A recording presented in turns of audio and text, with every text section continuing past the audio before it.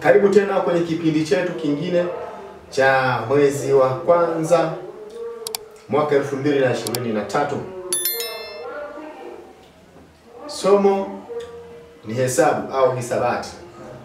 Tuna zoezi dogo hapo jinsi ya kufanya hesabu hizi. Anaweza kafanya mtu wa darasa pili, la tatu, la nne na kuendelea, lakini nimelenga zaidi kwa darasa la tatu na la pili. Unaambiwa andika kwa kifupi, andika kwa kifupi. Hizi ni hesabu. Hesabu A, hesabu A inakwambia elfu nane na mia nne na sitini na moja.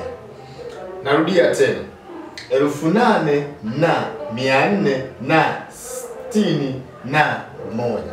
Kwa hiyo tunasema andika kwa kifupi, unachokifanya unakusanya namba moja moja. Mara nyingi ni ile namba ya kwanza kabisa, na pale kwenye namba ambayo ipo peke yake chukua hiyo hiyo. Okay, tunaanza na kukusanya hii nane, tunaiweka hapa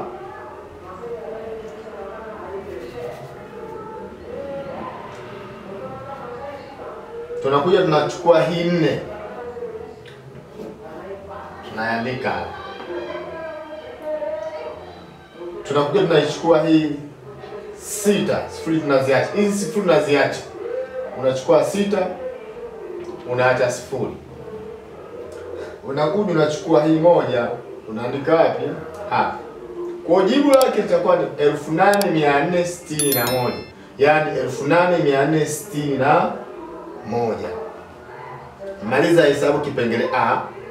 Kipengele B, mia tisa na sifuri na sifuri.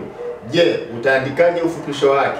Kwa kifupi, unakusanya namba ya kwanza kabisa tisa, sifuri unaziacha, tunaandika tisa.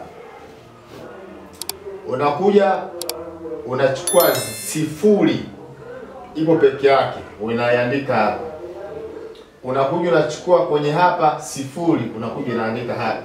Kwa hii ni mia ngapi? Ni mia tisa. Umeandika kwa kifupi, sawa. Hapo umeandika kwa nini? Kwa kifupi. Tunakuja kipengele che, elfu tatu na mia mbili elfu tatu mia mbili na moja. Hapa tuna elfu tatu tunachukua si tatu tunachukua tatu tunaandika hapa tatu. Tunakuja hapa kwenye mia mbili tunachukua hii mbili peke yake, tunakuja sifuri tunaiandika, tunakuja moja tunaiandika hapa, ni elfu tatu mia mbili na moja. Hapo imeandikwa kwa kifupi.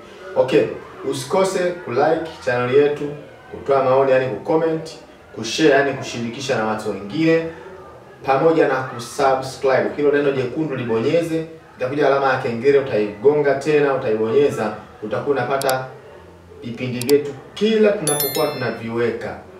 Karibu kwenye grupu la wazazi, ambapo unaweza ukatumiwa pia linki kwa ajili ya masomo kulingana na mwanao yuko darasa la ngapi au kidato cha ngapi. Asante sana, tukutane wakati mwingine, kipindi kingine. Bye.